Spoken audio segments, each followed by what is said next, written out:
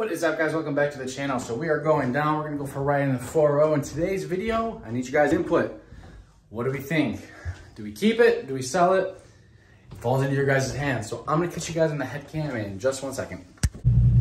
All right guys, back on the head cam here. So the topic of today, do we keep her or do we sell her? So, a little backstory for those that are maybe new to the channel. Welcome. If you haven't already subscribed, make sure you smash that like button because we need it. We are growing and also we're getting close. It's almost at the deadline, but if we hit 750 subscribers by or before January 1st, which is what, like six days away, five days away, man, we're gonna need like 10 subs a day, which is a heavy feat, but you never, you never know in the world of YouTube. So I'll be giving away 100 bucks if we hit that. But anyways, we got tons of cool content coming for all the new guys here. But again, back to the topic. So this was the first car I ever bought on my own at the age of 18. My good old trusty 4.0 Mustang, the V6. Absolutely adore this car. Um, got it bone stock and have done quite a bit to it aesthetically, but performance-wise, we are as stock as can be besides an axle back. Now, I recently got a job and I have been surviving the past two and a half years off my sole income of doing freelance, and I'm continuing to do that as well. So, with this additional income now, I have quite a bit of wiggle room in with with what I can and can't do. Whereas before it was kind of a stretch, now I really can do what I like. So I guess what I'm trying to hint at here is like, I can get into another car tomorrow if I wanted to and I'm torn on what to do because I love this car. Obviously, like this car's been paid off. Like I don't owe a penny on it. The only thing I pay for every month is insurance, gas, and all like the other stuff. Whereas if I were to get a new car, I would obviously finance it. So, what do you guys think? Do you guys like the 4.0 on the channel? I know we have some loyal 4.0 owners in here that I see you guys commenting. Y'all are the real ones. Or do you guys want to see, you know, a new car to the channel? So I've done a poll, I believe, on the 19th and it started out whereas the S550 Mustang GT, that one was number one. That one was far ahead of everyone else. I just checked it back this morning. Wow, did it change. Guys, number one coming in at 46% out of the four options was the 11 to 14 GT, which is awesome because that's the one I really wanted. So when I saw the S550s, I love the S550 platform, do not get me wrong, but I think the styling, especially the 13, 14, even though 11, 12s look good, but man, that body style is my favorite. Um, so when I saw that 46% of the votes were going towards that, I was ecstatic to say the least. So if this car does go, it will be replaced by another car, another content car.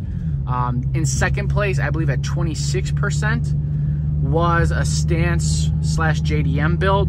So something a little different. If I went down that route, odds are I'd probably keep this car as a daily because I do not really want a stance car as a daily. Too many headaches there because I would most likely be going static and I have had friends with lots of static cars and I don't want to deal with that on a daily commute. So, I'm in a pickle. This is one of the few channels I think on YouTube that really pushes out frequent content on the 4.0. Um, a lot of them you know, it's kind of a video here and there. It's nothing, you know, very common. Totally sidetrack. This is a wide body Stinger that drove by. It sounds like terrible. I mean, it sounds horrible, but it looks so good. I was curious where it was, and there she is. It looks killer, but it sounds just like trash, man. That thing, I don't know what exhaust they have on there, but that has got to go that looks fire. All right, back on track. Um, yeah, guys, so I really need your input, man. I really, really need to know what you guys want to see because at the end of the day, we're getting closer and closer to that 1,000. Um, we're still lacking in the watch hours quite a bit, so I'm a, I have a strong feeling we're going to hit a 1,000 followers, or I'm sorry, a 1,000 subscribers before we hit the, you know, 4,000 watch hours. But either way, I have the income now where I can really kind of do what I please in terms of the next car, and I don't know what to do. So, scenario, if we keep the 4.0, then, like, I don't know what more I want to do with this. I know I had previously talked about potentially boosting the car, but like I have the Cobra, so why would I want to boost this? Like this car has been so darn reliable, I don't really want to go against that and cause issues. But at the same time, like, I don't want to bag it because it's a daily. Like I would never build this into like a show car. So I'm, I'm just at a crossroad, guys. I'm really torn here. Whereas if I get a Coyote, you know, the goal would be just to be really nice daily. Um, I'd probably get these wheels um, powder coated in a different color depending on the color of the car. Um, suspension, maybe a blower down the road. I don't know. I mean, I'm getting way ahead of myself here, but I don't know. If I keep this car, then more of the attention will go towards the Cobra. But then I'm at the same crossroads there where it's like I finally have that car running the way it needs to. It has been flawless. So do I really want to possibly risk, you know, taking that thing to the extreme and running into issues? Now, that's where you guys come into play. I'm really, you know, it's a 50-50, it's a toss-up. I can go either way. Um, if I do keep this car, I will, I'll come up with some other things because the car's not done Maybe we can start tinkering with some performance stuff. Again, in my most humble of opinion, I don't think this platform is worth putting money into performance unless you go straight to boost. And even that is questionable for the cost, but you never know. Um, the whole goal here is to be, you know, content oriented. Um, so I could keep this and then buy a daily.